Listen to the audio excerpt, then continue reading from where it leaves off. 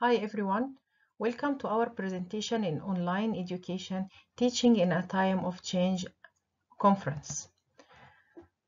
This is Noah Mahmoud and my colleague Gamal Mohammed. We are from Toronto, Canada, and today our presentation is about the remote delivery of Design Studio implementation of COVID-19 on design and architecture education pedagogy.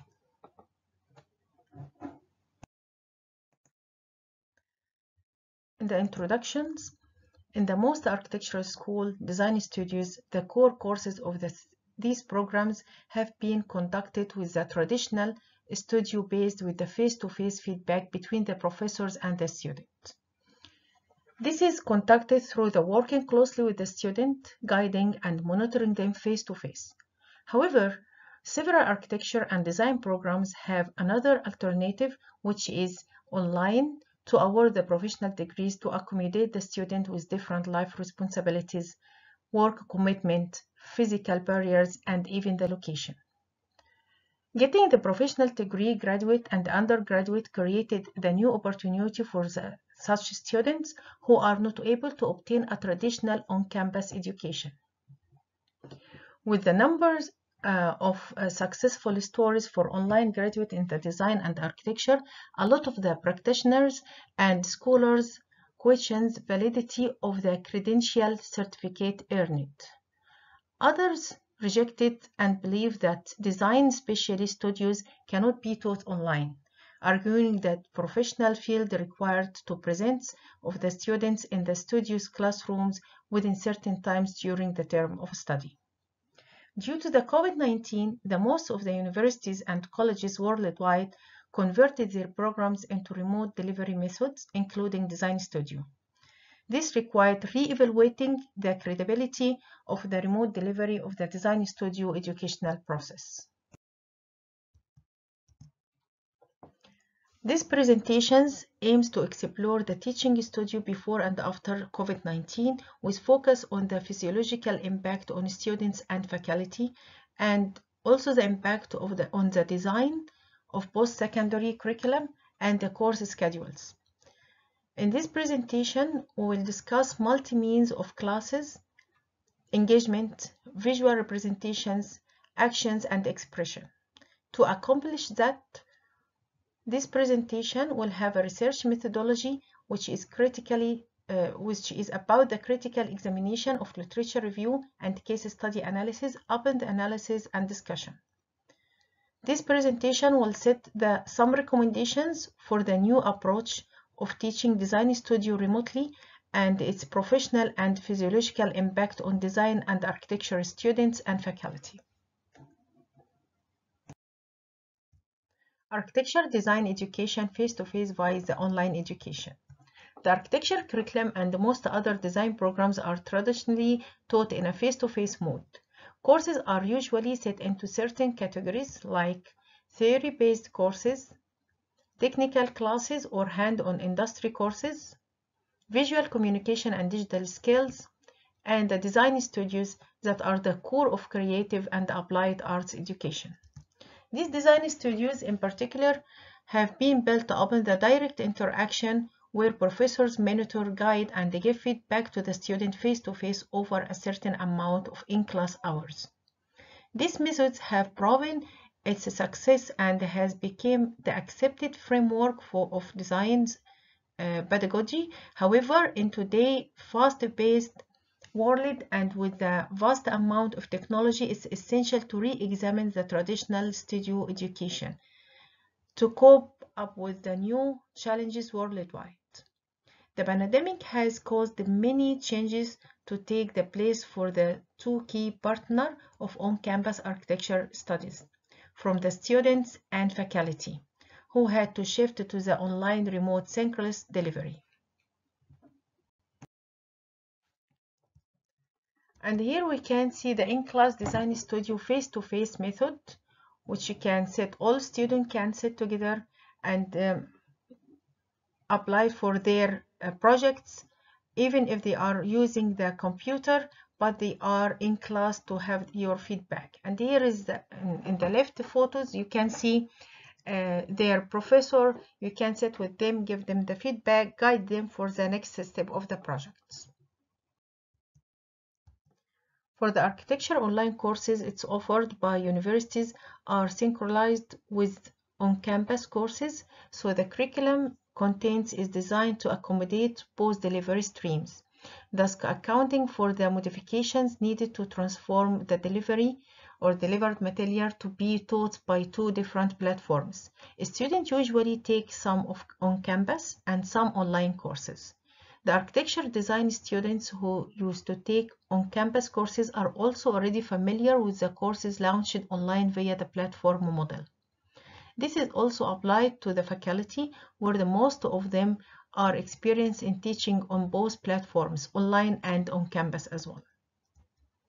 For the next session, we will explore the modification and implementation of remote learning for the main architecture programs stream that are core programs related to the studio, visual communications, specialized computers based on the software. Synchronous remote delivery, design studios and technical classes. As a response of the uh, consequences of the uncertain situation of the COVID-19 and physical distance between human to human or between human and objects are immediate impact on both teaching formats of higher education industry, on campus and online classes. A, a, profound uh, observation along with the student survey have been conducted throughout the previous year to address accurately the new learning barriers that were not existing before and are noticed uh, for the online classes in the architecture design studios. Studying these barriers helps to formulate the necessary questions of this situation. We are not in rush to a final conclusion about the best teaching methods for these symptoms, which is believed is still premature, and the main object now to guide us for the rational response as an advanced step for the further research to investigate for the ideal technical approach. Remote synchronous delivery for design education. Design studies in specific are an integral part of architecture education. This is discussed based on the qualitative analysis and observation of offering remote synchronous delivery, which is RSD, for almost four terms now. And this analysis gained within four aspects. The first one is student and faculty readiness delivery methods and approaches, student engagement and expression, and evaluation and assessment methods. The first factor is faculty and student readiness. The faculty and the student had to be prepared for this new RSD method, which is related to the aspects such as softwares and technology, course materials, work zone for the class meeting and further and future preparation. In the design studio, uh, studios in particular, the softwares and technology could be considered as the biggest factor for both faculty and students. Having the necessary softwares, programs, personal home computer, good Wi-Fi, and good access to the internet. The workplaces as well is considered as an important fact, aspect or factor can affect the, uh, this readiness for the both students and faculty need to be area within their homes to listen to the lectures, preparation, discussions, and without any uh, distractions uh, from the noise, background distractions as well. Class preparation for faculty changed to be providing students with the schedule for the upcoming live session, live class sessions as well. Provide multiply means of representation. This can be done by different uh, strategies. First, ensuring the accessibility of the course materials and also the ability of the studio instructor to present the main course concept in more than one format the careful selections of in-class learning activities that could emphasize comprehension and as an assistive factor, that promotes variety of ways of presentation uh, and interactive strategy to gain uh, to gauge the students understanding of course concepts in this regard there are this strategy can be implemented through the first is preparation by offering ways of customizing the display of information alternatives for uh, auditory informations and alternatives for the visual information as well.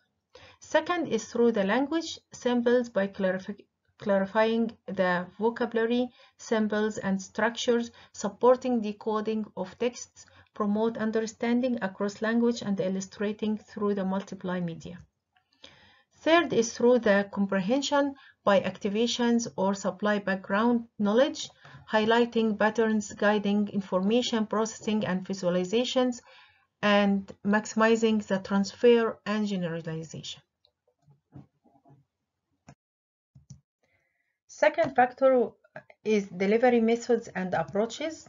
Delivery methods for design studios including the Zoom, PowerPoint, while activities including discussions, design activities, and assignments. Uh, this sharing for the faculty computer screen in Zoom for the lectures and assignments was necessary for clear delivery of the course materials. The PowerPoint was used to provide added resources to support the units as well and for all the examples of the Zoom uh, sharing for the assignments and comments and lectures and everything this will be uh, also example of the previous students work was also completed through the Zoom delivery method. For the lectures designed for the digital technical courses like CAD, computer aided design. This taught usually on, on campus on the labs, but however in the RSD digital technical courses, we can offer the same creation of the sharing information about this course for the digital creation with the professors and peers and the students. The third factor, which is student engagement and expression, this can be achieved by incorporating variety of teaching modes and style. Before on on-campus learning, we have different in-class activities that we can show the interaction between the students and professors, students and peers, and cooperation for whole classes. But now to against the listeners' mood and self-detonations feeling which can be you uh, attack the online classes, uh, the online class audience, we have different strategies that we can prevent this laziness of these classes. The first is recruiting interest by optimizing value and automatically uh, and minimizing the threats and distractions. The second is sustained efforts by increasing mastery-oriented feedback.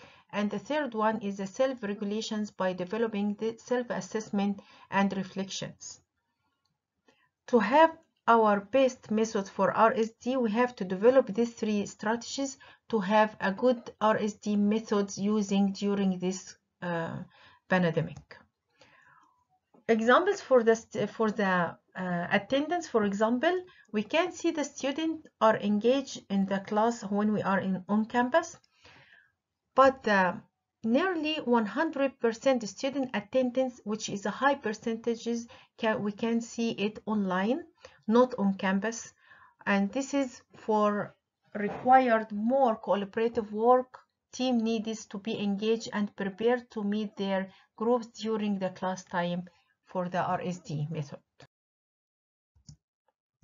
So as we mentioned, the discussion activities and disc critique were approaches that were easily completed through the Zoom, platform with the faculty that able to set up breakout rooms for individual teams for one-to-one -one meetings.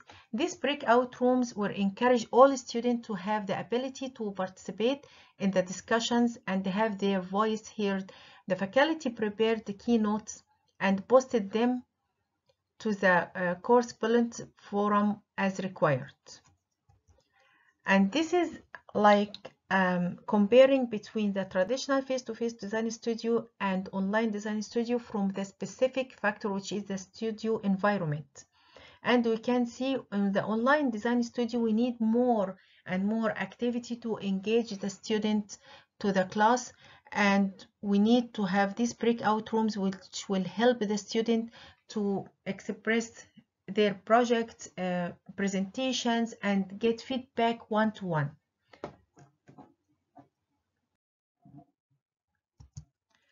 The fourth factor is evaluation and assessment methods.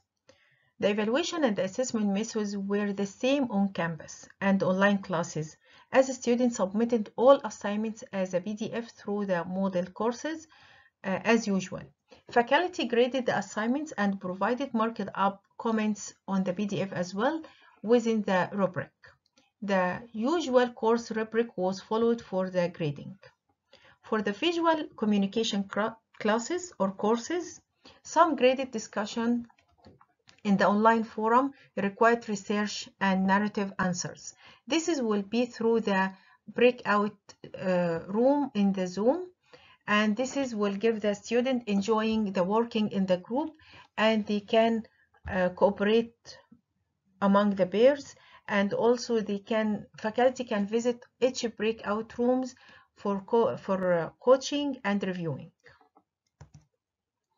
the evaluation and the assessment for the technical courses such as CAD for example or Revit uh, we need to change some as well to accommodate the absence of the students professor face-to-face -face interactions and the need for consistent feedback as it used to take place in a physical classroom setting.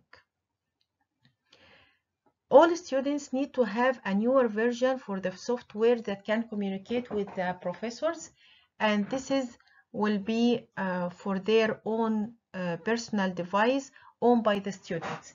And some universities and colleges can offer this newer version for the student of the software to have um, good communications and collaboration during the class with the professors.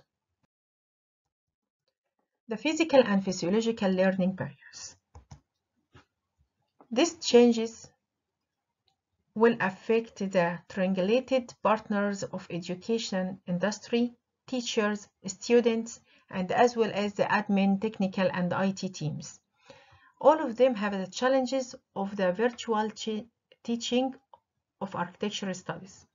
The post-secondary institution worldwide started to use the virtual learning, remote synchronous or asynchronous delivery as a applicable method to keep connections with the student in a social distance situation.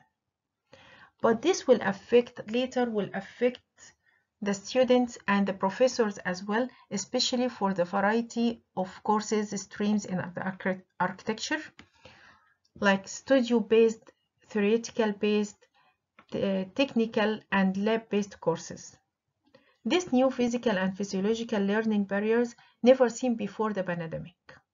Moreover, different between the research-oriented and studio-based nature of architecture curriculum of universities and the hand-on industry architecture programs offered by the colleges generated the types of the hybrid complicated learning barriers. These physiological symptoms not impacted the teachers student only but also the it's very important for their families results from the distance learning through the obligatory scheduled educational process unlike online teaching before the pandemic and this is like make an isolation optional process. Reflections and findings. In the final class, students were asked questions about the RSD process and the following represents the sum of the overall feedback about the new delivery methods. The student found that the classes seemed more organized than the on-campus, especially for the discussions in the breakout rooms. In collaborative work assignments, students felt the stronger connections with their partner through the RSD process versus in, in class as a student had to schedule regular Zoom meeting and connect together daily. However, students missed the on-campus environment and the community to meet up with the peers and did feel lonely at, at times. Also, the, this pandemic that affect the students' mental and physical health. And the limitation of the teaching hours can give the students to take more courses per day. so they have different flexibility in their schedules now. Also, the RSD added more family and personal time as there was no wasted travel time for the commuting to the campus. And they have also allowed the flexibility of their time and again extra time from the commuting added more time for the personal co uh, commitments and also put their touch for the faculty and the student for their work. One aspect should be noted through the RSD delivery motivated faculty for improvements and modifications of online as well as on-campus education delivery, delivery methods, which is the adaptation and support process where recall be, between the faculty and the student as it shifted from the on-campus to the synchronous delivery uh, remote learning. We are still in this situation in the COVID-19, but most of the faculty and the students are working hard to move forward through this challenging time. That this required from them the new measurement and degrees of implementation to sustain both the quality and the integrity of the educational process. Here is the list of the reference we are using in these presentations and this is not a limit there is a lot of information we can find about these topics through this pandemic.